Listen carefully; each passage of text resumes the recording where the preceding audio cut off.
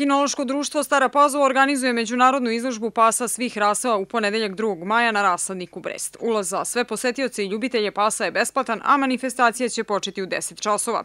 Predsjednik Kinološkog društva Siniša Savić zahvalio se čelnim ljudima opštine Stara Pazova koji su omogućili organizovanje treće međunarodne izložbe pasa koja će okupiti veliki broj izlagača iz zemlje i inostranstva. Ove godine dolaze iz oko 20 država će biti prisutno stranih iz 20 država stranih izlagača će doći na našu, na našu izložbu.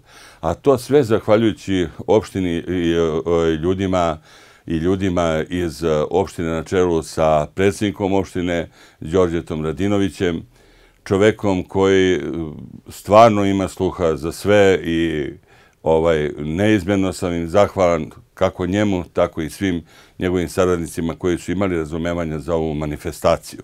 Za pomoć oko organizacije međunarodne izložbe, Siniša Savić, predsjednik Kinološkog društva Stara Pazova, se zahvalio i prijateljima i sponzorima koji su pored opštine pomogli da se izložba organizuje. Royal Canin, Kinološki savez Srbije, javno-komunalno preduzeće Čistoća, RTV Stara Pazova, Čevabđenica Sana, Hotel Vojvodina i mnogi drugi. Sude, dvojica sudija sude iz eh, Crne Gore, jedna Ruskinje sudi, ostale sudije iz Srbije. Očekujemo e, izlagače iz našeg regiona, šta to znači? E, Slovenija, Hrvatska, Bosna, Hercegovina, Makedonija, Crna Gora.